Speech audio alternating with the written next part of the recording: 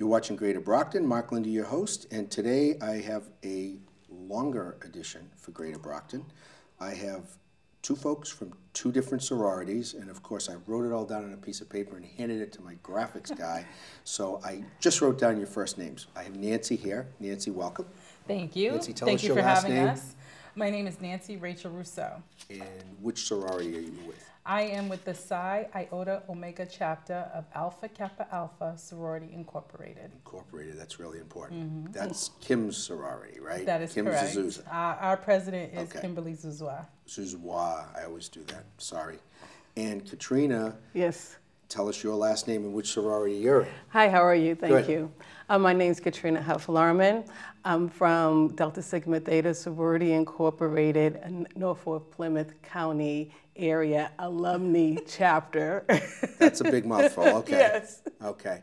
And three sororities in the area, I think, are getting together. Is it three? Actually, four. Four, actually okay, four four. Okay, so we got two. And what you're trying to do is raise the importance of being registered to vote, correct? Absolutely. So tell us, um, you, we'll go back and forth, Mm-hmm. whatever you, you folks uh, want to say. Why, why are you doing it, first of all? Well, we've realized the importance of um, the youth uh, wanting to have their voices heard, right? And there's a movement going on right now that we realize um, with March for Our Lives. Mm-hmm. You know, that was a movement, that was a great movement that was put together by youth. And since that movement, I have and we have noticed that youth are becoming more excited and more engaged, mm-hmm. right? And they need our guidance. And how better to provide our guidance is to give them an opportunity like this where they have the opportunity to register, to pre register in their high school where mm-hmm. we're going to them. And once they turn 18, town hall or their city hall will call them at the age of 18 mm-hmm. and tell them they're registered to vote. That's even better than I thought it was. Mm-hmm. How's that? Because when I was 16, I was inspired. Jimmy Carter came to Brockton, so now I'm dating myself in Yeah. terms of age. He spoke at Brockton High. We had six presidential candidates that came to Brockton that year. Wow. 1976, long, long, no, no, actually 1974, 75, long time ago. Jimmy Carter spoke at Brockton High. That's how I got involved. But I couldn't register to vote. And I ended up with a Jimmy Carter pin. It was a gold peanut, said Carter 76. Two ways you got it. You gave him $1,000 mm-hmm. or you worked 1,000 hours for him. I worked 1,000 hours for him, so I have the pin. And I have an autographed copy of his book called Why Not the Best, locked away in a safe deposit box. The other one I had went to the public library and someone took it for the signature. It never got returned, it never got checked back in. So this is a good thing because um, some communities in Massachusetts now are doing this um, they're letting young people 17 vote in municipal elections. It Hasn't come to Brockton yet. I think it's up in Lowell and Lawrence or something it's like not that. in Randolph But it, it would be good because local elections, people think the presidential election is the most important election. Ah, it's the other way around, local elections. So did any of the sororities start it first or did you guys just decide that you're all going to get together and group together? So, I mean, I'm glad that you asked the question. Um, we, all of our sororities traditionally participate in voter registration, getting out the vote, very actively so. Um, however, um, in the spirit of unifying and getting together, and the more people that are speaking towards a cause, the more likely you're get you're getting to more listeners. And with that sort of um, concept in mind, I thought of the idea of having all of the sororities, part of the Divine Nine Sisterhood, come together so that we could work together to reach our goal of 500 youth uh, in, on the National Voter Registration Day on Tuesday. That's a good goal. That's a lofty goal. 500 in one It is day. a I like lofty it. goal. it is a lofty goal. We're a little nervous, but we're well staffed, and we are covering um, as much of southeastern Massachusetts that we can cover uh, on that day. So we're very excited and are looking forward to reaching that goal. And this will, the, this particular day will get you to be able to vote later on. Because Correct, I think yes. the voter registration days for the, the September is long past, but the November Correct. one, I don't, I don't think people can register at this point. They're making it easier. There was a new, Oh, new laws. You can do online. You can register. When you, re- when you, reg- when you get a license, you know, different Mm-hmm. ways to make it a heck of a lot easier to register. Massachusetts has generally always been voter friendly, Mm-hmm. but different parts of the country aren't. We're hearing about voter suppression and stuff like that. And, Absolutely. you know, people forget that veterans fought and died for our right to vote. We're not in a country where if you go to vote, you get shot right. or you get one choice, you get multiple choices. We're, we, we're hearing about hacking elections and things like that and dark money, but this is to get them registered to begin with. I argue with people. I tell my students where I teach at Massasoit, if you don't vote, don't complain. I don't want to, you have a right to complain, you have a right to voice, but if you're not going to actually get off your butt and vote, the other thing is, I think they should make it a holiday. I think they should make it easier. I think I, Saturdays to me, a lot of towns do Saturday elections. I think Randolph. No, you're right. No. You have a you have a We have early election. I mean, early early voting. Early voting. Yes. which I think is November's going to have early voting. The September Yes. one didn't have it. Yeah. So what kind of response? Uh, I'll go back to you. What type of response are you getting from your sisters and people supporting this cause? Absolutely. Everyone's so excited. We're excited. Um, the community's excited. Um, my chapter, um, other chapters um, are really excited about this initiative because not only does it give us the opportunity to um, present this to students outside of their classroom, but we also have um, teachers. A number of teachers have called me and said, okay, since you are doing this, we're going to make it part of the curriculum. Nice. So many social studies teachers are making this part of the curriculum, so they're preparing their students before we get to the school and register them to vote. So people, you know, so it's a win-win for everyone. You know, we have the opportunity to bring this initiative. The students have an opportunity to have their voices heard, and the and the schools um, feel as if they're able to give an additional opportunity to their students as well. Well, I'm going to tell you something. Give you a little secret. My grandson Yes. is nine. He'll be 10 in January. He was born on Obama's inauguration day. Okay, now listen to his name Jackson Wallace Owens. Now, does that sound like a president or something? yeah, He absolutely. told me, he told uh, my wife, his, his grandmother is a Nani because she's Italian. So he says, Nani, can I be a pro player? Pick your sport, one of three.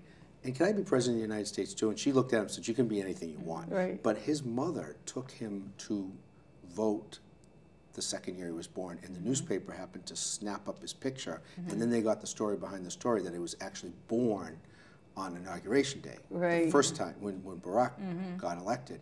And so it ended up like on the front page of the local section. So I have it in a frame at home. I'm like, remember when you asked us that question? You're going to be, you'll be president of the United States. And I'll tell you, he's a, he, he, he knows he's good looking and he pose, he strikes the pose, but he goes, and I used to bring my kids with me to That's vote. where it starts. You know, I had teachers, those history teachers you're talking about in the curriculum, the social studies class, that's what did it for me.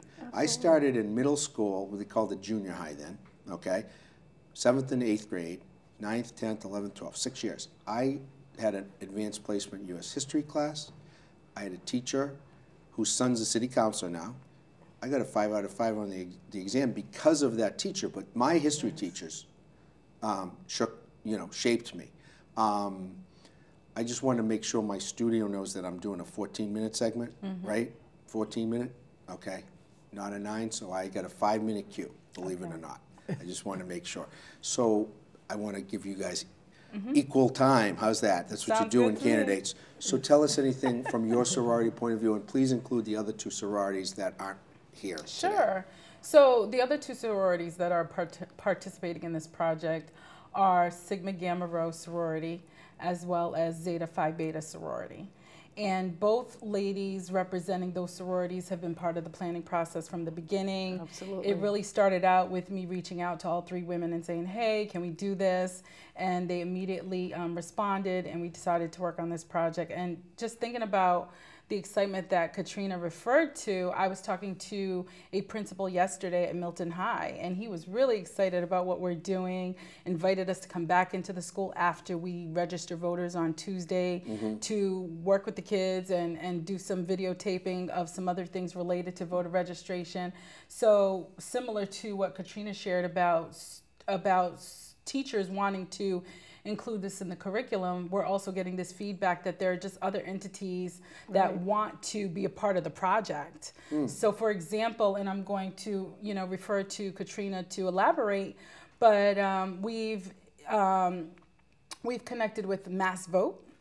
Which is a nonprofit organization that focuses on getting out the vote and particularly reaching youth as it comes to um, registering to vote.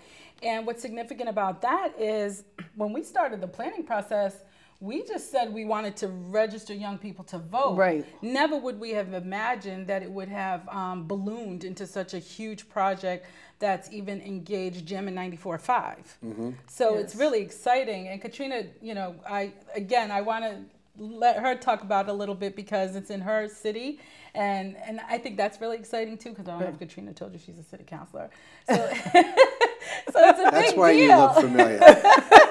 okay. so it's just a big deal overall in terms of the project and how it's evolving, and we're really excited about Tuesday. Are you involved with League, League of Women Voters at all? I am not yet. I'm going to Yeah. get your contact. I'm going to get your contact because they've been kind of aging out, and I think they need a little reinvigoration. I know people that are involved. So I got the two minute cue. Okay. You're Okay. going to get a minute 30, and then I'm going to wrap it up. How's Okay. that? So tell us about, uh, Well, what- continue. Um, what's also exciting about this initiative, as Nancy said, we have JAM'N 94.5 um, will be presented at Randolph High School, um, and Mass Vote will be conducting a seminar, a 30-minute seminar. Um, talking to juniors and seniors about the importance of voting, and 94.5 will also be there putting their two cents in and also giving out swag. This is a huge event that we are so thrilled about. Hey, I always say if people vote on election day, you, you almost should give them something, whether it be a flag pin or the I voted. I, I just noticed that it says vote. Yeah, isn't on that cool? That is very cool. Um, I just got two buttons they were giving out today. If you registered to vote, they do it. I have this whole collection of pins and buttons and stickers and all of that stuff. I, I was a candidate myself for. I am, I'm on a school committee. I'm on the Southeastern School Committee. Oh, and I ran okay. for two other offices, but I've worked in about 40 plus campaigns. Oh. I'm good at getting other people elected. Mm-hmm. It's hard to get yourself elected. And it's also if you're a state employee like I am in Right. Massasoit. Oh, there's a lot of raise money. other. Yeah, yeah, there's Right. a lot So of they, other. they can't even, yeah. if I want to give you a twenty dollar bill, you got to give it to my committee. Yeah. That's Right. crazy. Yeah. Yet the state reps and the senators can raise as much as they want. We'll talk about voting we'll- reform, another show. Oh, That's the next. sure. Right, oh, exactly. So when is when? So on the twenty fifth Question at number the two, school. actually. When is the eh, when is the seminar? The thirty minute seminar. I'm just curious. On the day of voter, National Voter Registration Day, Okay. uh, September 25th, 1 to 2 o'clock, at Okay. Randolph High School. Okay, I'm going to have to talk to Stu over there and see if. Oh, uh, I spoke to is he gonna be over there? Ah, yes, he will. Okay, so maybe he'll share that video. Maybe I'll give him this video so he can help you promote it. Oh, We all know each other. The Access family is a small, yes. close knit family. We, but we go to conferences outside of Massachusetts so we can all get together. We're in the next town over, but we don't see each other when we're here. Go, go crazy. So, um, any contact information, phone numbers, websites, Facebooks that you either one of you want to share? Um, well, We'll with, put it up on the screen. So, Okay, great. Okay. Um, since it is on the screen, then everyone can see that our website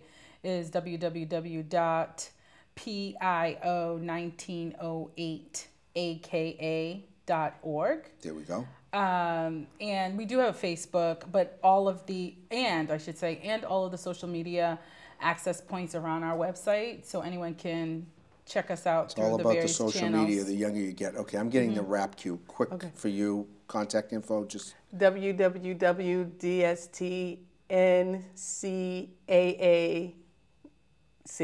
Okay. we'll put it up there so they'll get it. Thank you. Thank you both. It's Thank been you a so pleasure. I'm going to much. follow up Thank with you. you. when this all happens after the fact and let us know about your events and we'll help you promote them. That'd be Absolutely. Thank you so awesome. much. Thank you so much. You're welcome. You're watching Greater Brockton. Mark Linde, your host. Stay tuned for more events, places, people, and faces right here in the City of Champions.